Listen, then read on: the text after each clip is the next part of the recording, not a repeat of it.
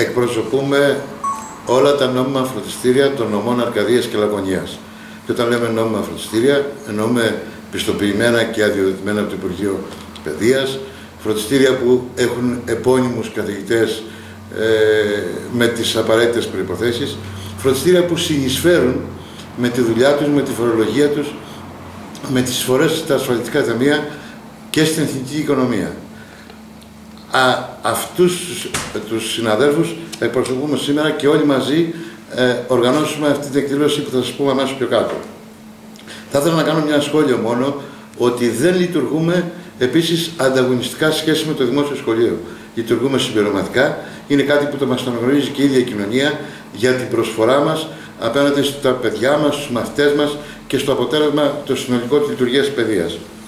Επιτρέψτε μου με την ευκαιρία εντάσσοντας την εκδήλωσή μας αυτή στη γενικότερη κοινωνική δραστηριότητα του συλλόγου μας να θυμίσω ότι και πέρσι τον καιρό περίπου ε, οργανώσαμε μια εκδήλωση που αφορούσε τον επαγγελματικό προσανατολισμό των νέων, ένα θέμα που απασχολεί και λείπει από τα παιδιά μας και ιδιαίτερα αυτή την κρίσιμη περίοδο που ζούμε.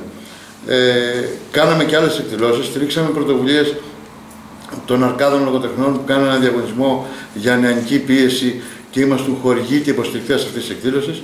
Όπως επίσης ανταποκριθήκαμε από την πρώτη στιγμή, εδώ και δύο-τρία χρόνια, ε, όλοι οι συνάδελφοι στηρίζοντας την ελληνική οικογένεια για να τους βοηθήσουμε να μπορέσουν τα παιδιά τους να συμμετάσχουν στα φροντιστήριά μας.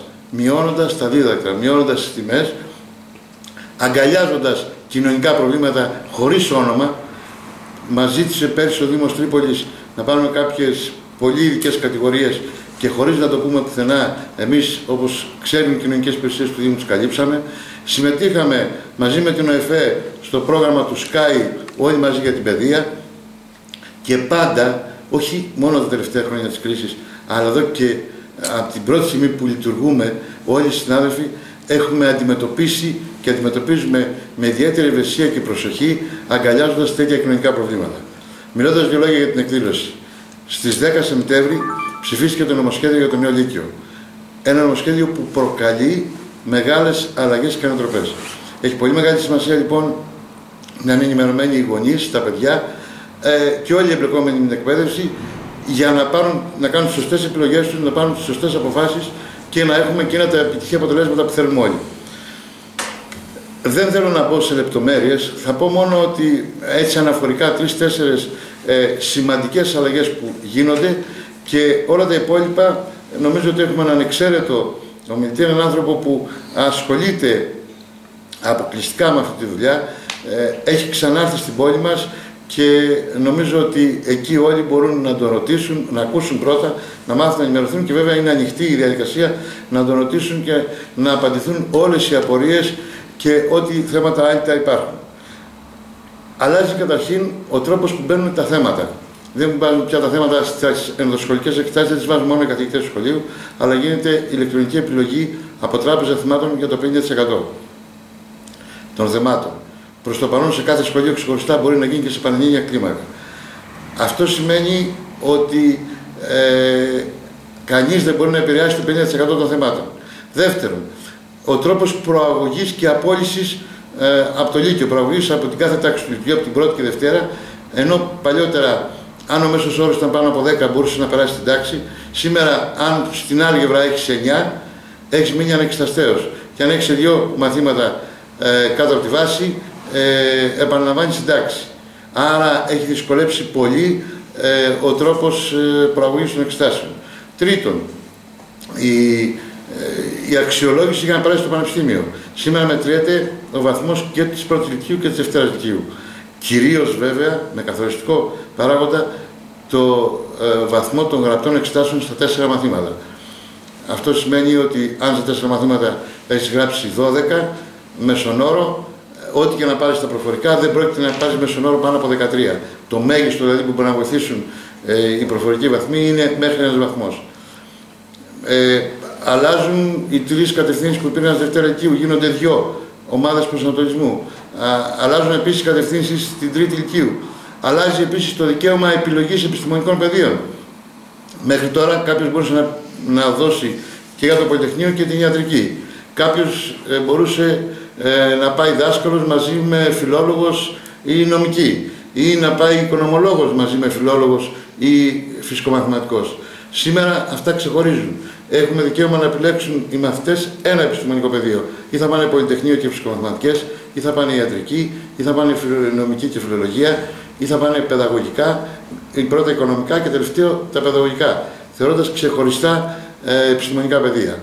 Έτσι ένα σύντομο περίγραμμα σοβαρών αλλαγών και ανατροπών που γίνονται, που νομίζω οι μαθητές μας και κυρίως οι μαθητές της πρώτης ηλικίου, οι μαθητές που έρχονται από τρίτη γυμνασίου, πρέπει να είναι ενήμεροι για να κάνουν τη σωστή προετοιμασία τους για να πετύχουν αυτό το στόχο και το όραμα που ε, έχει ο καθένας σχεδιάσει για τη ζωή του. Αυτό που θέλουμε είναι οι, οι υπηρεσίες αυτές και η γνώση που θα πάρουν οι μαθητές μας να είναι γνώση σύγχρονη, γνώση της αγοράς, γνώση που εξυπηρετεί τις ανάγκες της σημερινής κοινωνίας, ταυτόχρονα να είναι αδιάβητο το σύστημα, είναι πάρα πολύ σημαντικό. Ήταν ένα από τα λίγα θετικά των τελευταίων δεκαετιών μέσα στο διαβρωμένο δημόσιο τομέα που ζούσαμε οι πανελληνίες εξετάσεις.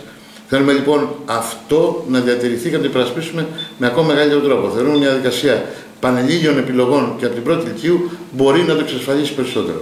Αν θέλετε ναι. Και πώς το σχολιάζετε, θέλω όχι μισό λεπτό να, να μου χαρακτηρίζετε, αν μπορείτε με μία-δύο λέξεις, με μία φράση, ακριβώς το νομοσχέδιο για το νέο Λύκειο. Πώς θα το χαρακτηρίζετε, πιο εύκολο, πιο δύσκολο, πιο αδιάβλητο, όπως είπατε, πιο ε, μαθητοκεντρικό, πιο... πώς θα το χαρακτηρίζετε; Δεν, νομίζω ότι μπορεί να πατηθεί με μια λέξη. Πρώτον, δεύτερον, θα ξέρετε ότι δεν έχει κλείσει το θέμα. Ε, επειδή ο μιλητής είναι ένας άνθρωπος που έχει, ε, θα το δείτε, πολύ καλή ενημέρωση, ε, μας είπε σε μια για, για προσωπική κουβέντα ότι μέσα σε 15 μέρες υπήρξαν 60 τροπολογίες αυτού του νομοσχεδίου. Και καταλαβαίνετε ότι κάποιες τροπολογίες μπορούν να καθορίσουν ε, πολύ σημαντικά πράγματα. Θεωρώ ότι δυσκολεύει, χωρίς να είμαστε πεισμένοι ότι βελτιώνεται επί ε, και έχουμε τα αποτελέσματα που θα επιθυμούσαν οι γονείς και οι εκπαιδευτικοί και όλοι οι εμπλεκόμενοι στην εκπαίδευση. Κύριε Φως, να μας επαναλάβετε και άλλη μια φορά πού θα γίνει η ενημερωτική μερίδα, τι ώρα και τι ημέρα; Ναι, η εκδήλωση προσκαλούμε όχι μόνο τους μαθητές, ε, τους γονείς, τους εκπαιδευτικούς και όλη την κοινωνία νομίζω ενδιαφέρει να ξέρουμε ε, πού οδηγούνται τα πράγματα και ποια εικόνα υπάρχει σήμερα στην παιδεία. Η εκδήλωση μας γίνεται στο Πνευματικό Κέντρο το ερχόμενο Σάββατο 9 ε, Νοεμβρίου στις 6.30 ώρα το απόγευμα στο Αμφιθέατρο του Πνευματικού Κέντρου. Η είσοδος προφανώς είναι ελεύθερη και ξανατονίζω ότι έχει μια διαδικασία που θέλουμε να ενημερώσουμε και να μάθουμε και να εξηγήσουμε σε όλους οτιδήποτε πορεία έχουν μπορούν να ρωτήσουν, θα υπάρχει μικρόφωνο να απευθύνονται σε όλη την κοινωνία. Δύο λόγια να πει ο κ. Σπουδρόπουλος. Ε, να συμπληρώσω κάτι σε αυτό το ζήτημα του, του εκπαιδευτικού συστήματος. Εμείς και σαν ε, Ομοσπονδία και σαν φορέας ε, εκπαιδευτικός έχουμε σαν πρωταρχικό μας στόχο την προαγωγή της γνώσης και γι' αυτό δουλεύουμε και γι' αυτό κοπιάζουμε και γι' αυτό έχουμε και ως χώρος ε, εκπαιδευτικός τόση μεγάλη συγγραφική έτσι, δουλειά και κόπο καταναλώσει. Πιστεύουμε ότι το εκπαιδευτικό σύστημα σήμερα δεν ανταποκρίνεται στις ανάγκες της κοινωνίας. Μην γελιόμαστε. Έχει σοβαρά προβλήματα και τα παιδιά υποφέρουν χωρίς να μαθαίνουν επί της ουσίας πάρα πολλά πράγματα τα οποία αύριο στην κοινωνία θα δημιουργήσουν αυτή τη διαφορά που έχει σήμερα η παγκοσμιοποίηση και ο ανταγωνισμός σε επίπεδο γνώσης ε, και σε επίπεδο τεχνολογίας ε, σε παγκόσμια εμβέλεια. Αυτό είναι το πρόβλημα που πρέπει να λύσουμε και αυτό το πρόβλημα λύνεται με μια συνολική μεταρρύθμιση. Δεν λύνεται με επιμέρους προσεγγίσεις.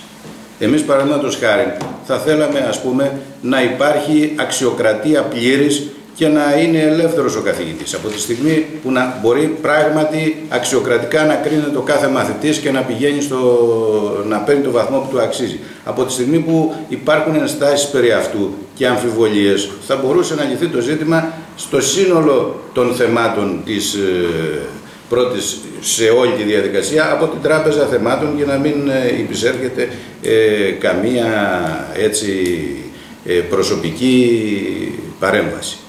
Το δεύτερο ζήτημα που εμάς μας ενδιαφέρει είναι τι θα γίνει με αυτά τα παιδιά τα οποία θα μείνουν εκτός λυκείου. Πράγματι, δεν μπορούν όλοι να γίνουν επιστήμονες σε τούτο τον τόπο και σε καμία χώρα του κόσμου δεν συμβαίνει αυτό. Υπάρχει μια μεγάλη μερίδα των νέων ανθρώπων τα οποία με όχι χαμηλότερης στάθμης ε, πνευματικής, ίσα ίσα πολλά από αυτά είναι και πολύ καλύτερα, που στρέφονται προς, τις, ε, τεχνικές, ε, προς την τεχνική εκπαίδευση και εκεί πρέπει να δοθεί μεγάλο βάρος. Όλη η Ευρώπη, το 60, σε όλη την Ευρώπη και σε όλο τον κόσμο, το 60% των μαθητών στρέφεται στην τεχνική εκπαίδευση. Εμείς εδώ δεν έχουμε δημιουργήσει τις προϋποθέσεις να υποδεχθούμε αυτά τα παιδιά ως κοινωνία εννοώ στην τεχνική εκπαίδευση. Και αυτό πρέπει να το δούμε. Και να δημιουργήσουμε και εκείνες τις προϋποθέσεις που αυτά τα παιδιά θα μπορούν να πάνε και να κάνουν καριέρα και στο πανεπιστήμιο αργότερα.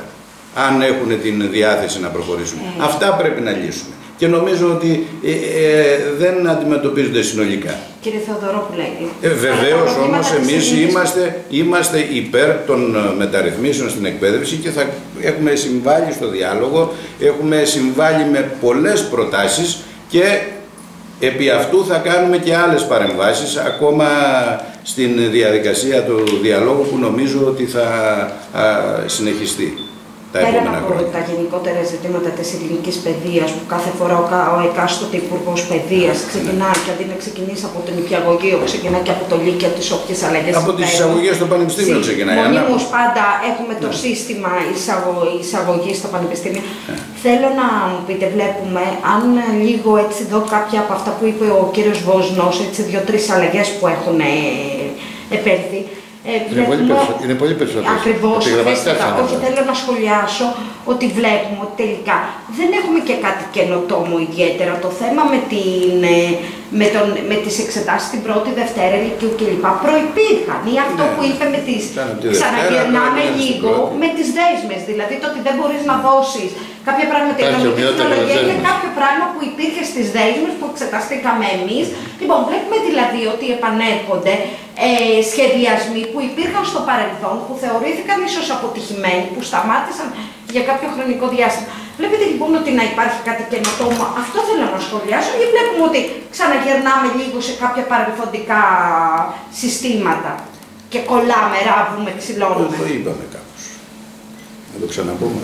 Κάπως έτσι. Το είπα. Δυστυχώς κάπως έτσι είναι. Ε. Ε, το αλλά δεν είναι σημαντική αλλαγή ότι το 50% των δοσκοπικών θεμάτων είναι από μια τράπεζα θεμάτων, ούτε ότι αλλάξουν τα πέντε παιδεία, οι τρεις κατευθύνσεις τετράγωνοι και γίναν δύο. Σαφώς δεν είναι τομέ, δεν είναι μεταρρυθμίσεις. Σαφώς δεν, όπως είπε ο κ. Στοδόπουλο, δεν απαντάνε στις σύγχρονες ανάγκες της κοινωνίας. Δυστυχώς. Απλώς να μην γυρίσουμε πίσω. Ε, αυτό προσπαθήσαμε να πούμε εμείς. Και αν κάποια θετικά για αυτό το σύστημα όπως προανέφερα εγώ, το διάλειμμα των Πανελληνίων Εξετάσεων, να μην χαθούν τέτοια θετικά βήματα που είχαν γίνει. Και όπως είπε και ο κύριος Κοσμός, ήδη το τελευταίο διάστημα έχουν γίνει τουλάχιστον 70 με 80 τροποποιήσεις στο ήδη υπάρχον νομοσχέδιο. Μπορεί το Σάββατο να έχουν γίνει άλλες 10-20. Δηλαδή, ας περιμένουμε και το Σάββατο. Πιστεύω ότι ε, σε αυτή την ενημέρωση. Προς την καλύτερη κατεύθυνση έχουν γίνει; Ε, θεωρώ ότι θα γίνει προς την καλύτερη. Να δούμε τι θα μας πει ο κύριος Κοτρουμπέλης που είναι ο ε, καθήλυνα αρμόδιος γι' αυτό. Γιατί και εμείς καταλαβαίνετε, προσπαθούμε όσο μπορούμε να ενημερωθούμε και από τα site και από έγκυρα εκπαιδευτικά site κτλ. Αλλά σίγουρα ο άνθρωπος αυτός ξέρει περισσότερο.